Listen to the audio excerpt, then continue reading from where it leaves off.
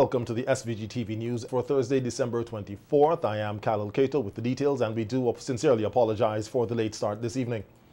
Two new, two new COVID 19 deaths have been recorded here, bringing the death toll from the viral illness to 81. The victims are a 71 year old male who died at home after a respiratory illness and tested positive for COVID 19 on Tuesday as part of the post mortem assessment. The patient was determined to have died from COVID pneumonia. The other person is a 26-year-old male with underlying conditions who tested positive for COVID-19 on December 14th and was admitted to the isolation ward at the Milton Cato Memorial Hospital, then died on December 22nd of COVID pneumonia. Both patients were unvaccinated.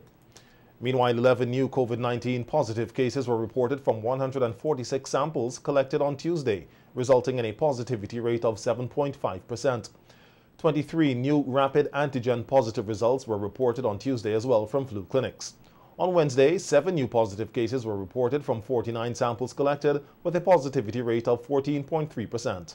20 new rapid antigen results were also reported from the flu clinics. There is currently one patient admitted for COVID-19 at the Argyle Isolation Facility who is unvaccinated.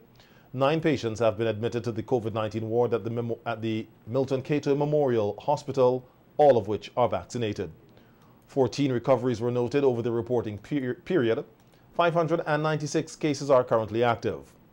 5,828 cases of COVID-19 and 5,100 and that should be 5,151 recoveries have been recorded in St. Vincent and the Grenadines since March 2020. And with the long holiday weekend coming up, the Ministry of Health is ensuring that COVID-19 vaccines are available at all clinics in the absence of vaccination drives. So says Health Promotions Officer in the Ministry, Shanika John. Not taking any drives this weekend in particular, but into next week we do have a few pop-up drives to get those second dose courses eh, available so making it more accessible to those persons. So we would be on the road next week in particular as well. In the meantime, if you're interested in getting vaccinated, you can do so at your nearest vaccination site within your health district.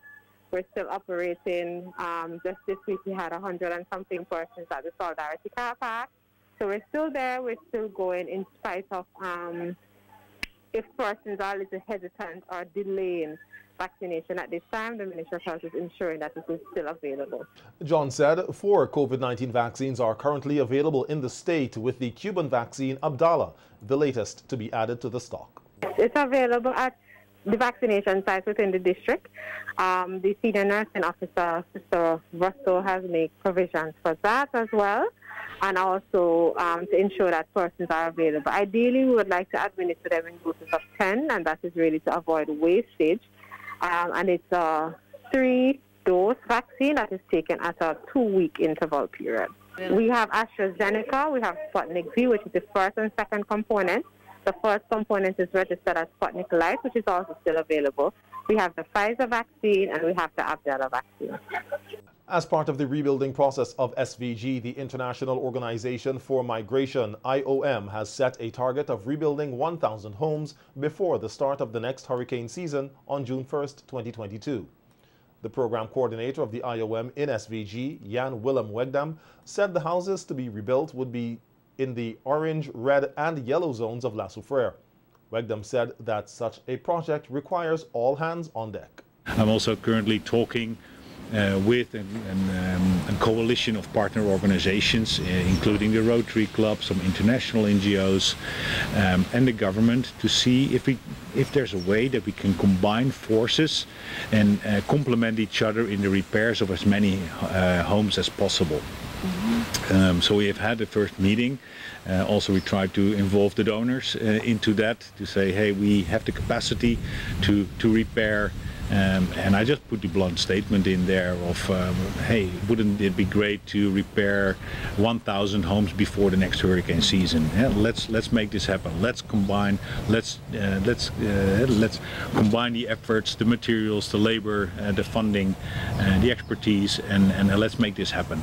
Um, so I truly hope because this is the moment that we can ask. It, it is before Christmas, and it's also in the international humanitarian world.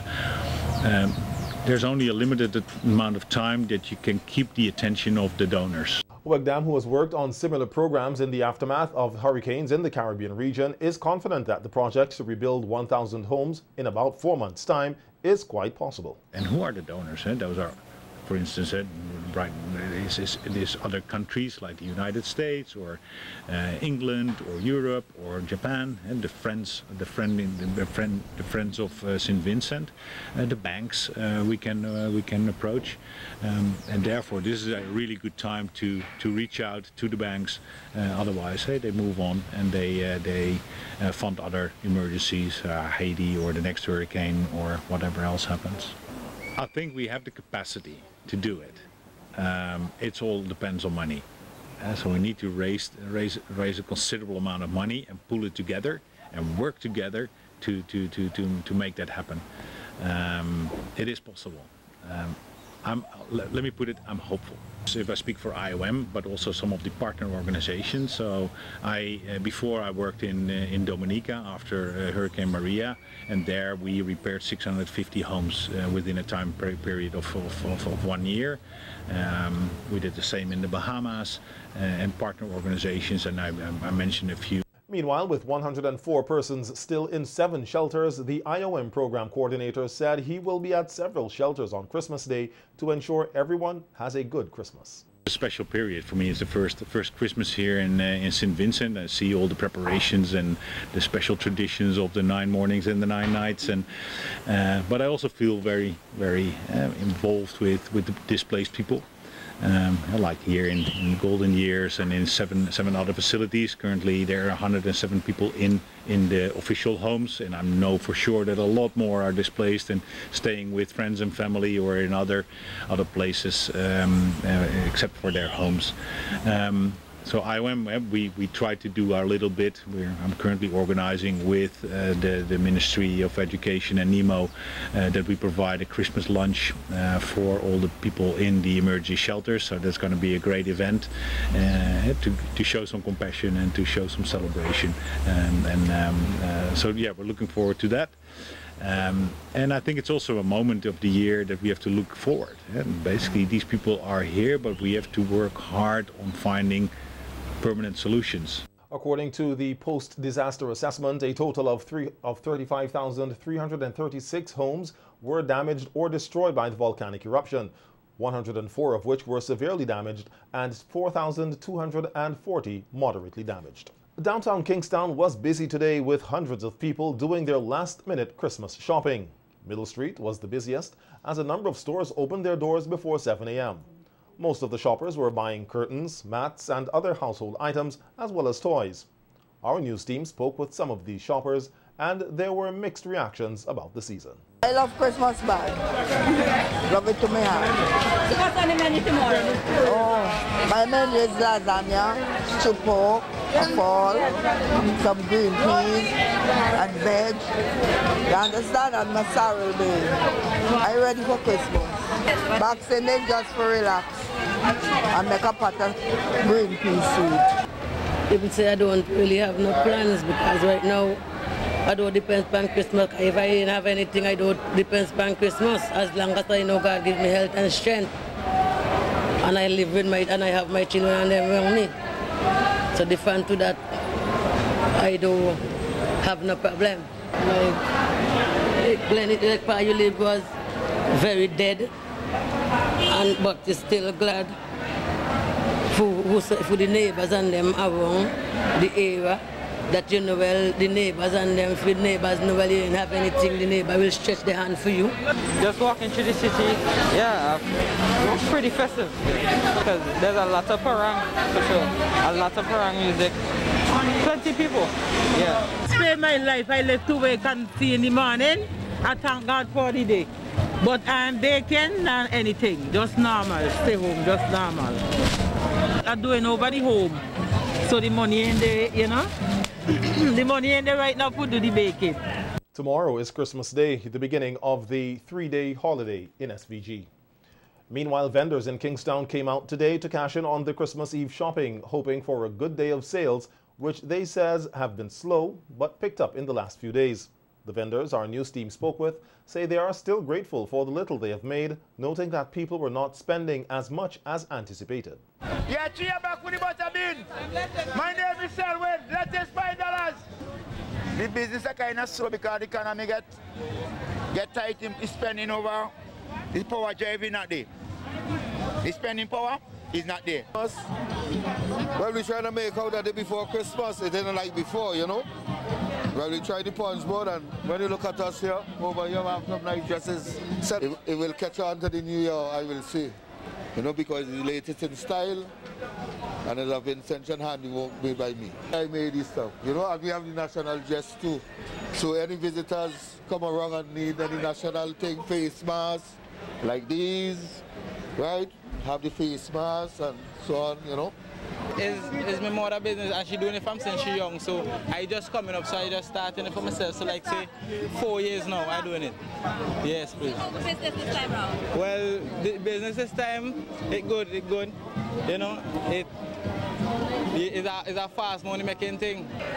And for the Christmas now, craft rate, craft rate selling because craft rate not food.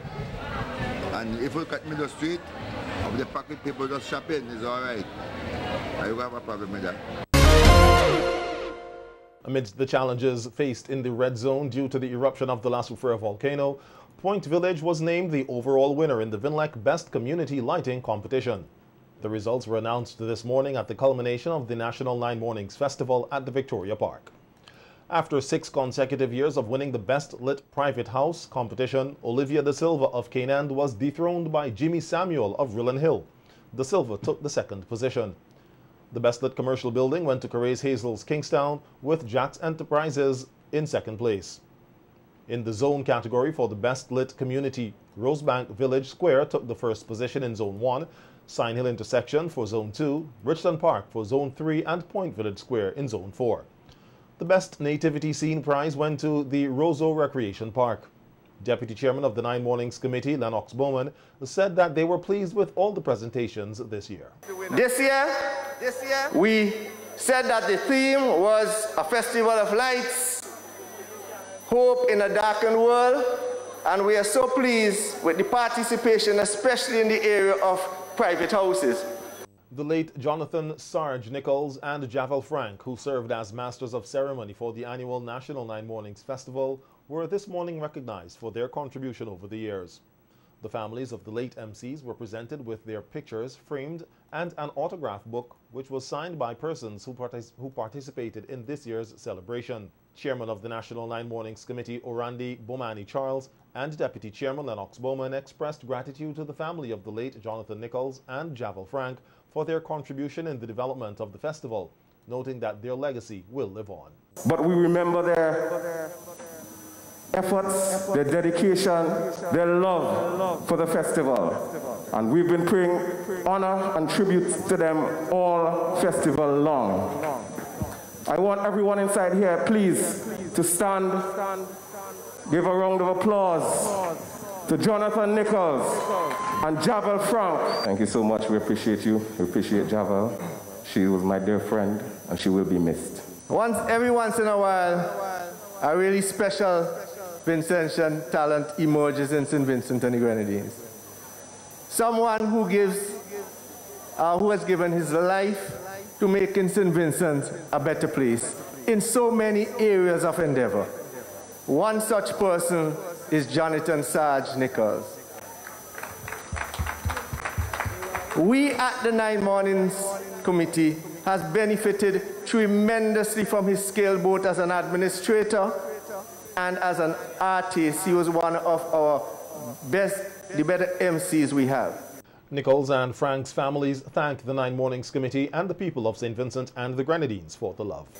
It is an honor to receive this tribute on behalf of my late husband, Jonathan Nichols, in acknowledgement of his profound contribution to the Nine Morning Festival.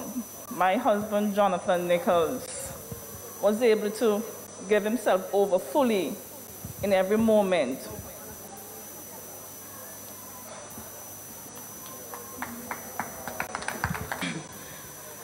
I want to wish everybody Merry Christmas. And on behalf of my mother, Merry Christmas. I would just like to say I want to thank everybody and I appreciate what you guys have done on behalf of my mom and I know she appreciates it as well. 50 listeners of sister station Magic 103.7 FM were selected as the winners in this year's Christmas promotion. The winners received several prizes, which were presented yesterday, which included several, which included Hairoun drinks, irons, kettles, wines, juicy, baskets of groceries, and more. Sales and Marketing Promotions Officer of parent company SVG Broadcasting Corporation, Keisha Bilinji, gave a brief overview of this year's promotion. Despite the challenging year, Christmas with Magic 137 was no different with our annual Christmas promotions. This year was Christmas Genie, where callers had to choose from three categories of questions, and if answered correctly, they got to choose their own prize from three options. This has never been done before, but it's 2021, so why not? We also had our Christmas Parang sing along, which was equally as exciting. Listeners competed against each other in song, and the winners were determined by the callers. And for the first time, we had a Sunshine Christmas promotion. Children would call and sing any song of their choice to win a snack bag from Better Brands Distributors, the local agent for Sunshine and Casey Snack. Bilinji thanked all the sponsors who made this year's Christmas promotion possible. I want to sincerely thank all our sponsors who has contributed to these promotions, including Finishing and Furnishing, General and Maritime Agencies, ECBI, Gustavs Liquor, Thomas Wholesale, The Modern Place, St. Vincent Brewery, all the sponsors who has contributed. Thank you, thank you, thank you. We want to say thank you to all who participated in our promotion. Continue listening to Magic 1037 915. Have yourself a blessed Christmas season. Some of the winners expressed gratitude for the prizes awarded to them. I am quite excited, really, to win my case of Hairoun Soft. It saved me a couple dollars, so I'm happy. That's great. Always happy to be a part of Magic. Oh, yeah, thanks. I love to be a part of the, the, the, the Magic with Christmas. So we say it. Yeah, that. All right. I am. I just want to thank Magic Radio for giving me the opportunity to win this beautiful knife set from Finishing and Furnishing. I really appreciate it and Merry Christmas to all. Magic Radio is the best. No other one can test. We're winning so much of gift at Christmas time. We thank you all for everything. Everything that we receive. Thank you, Gonsalves Liquors and Magic. Everybody have a blessed Christmas. Thank you for JNT Enterprises and Magic. First of all, I would like to say thank to Magic, my station, every day, every night. And I must say thank you for Juicy to donate um, this case this case of Juicy to me. Magic Radio is the best I know. Everyone just love this radio. There is no competition throughout this nation. Is the best in the West. No other contest.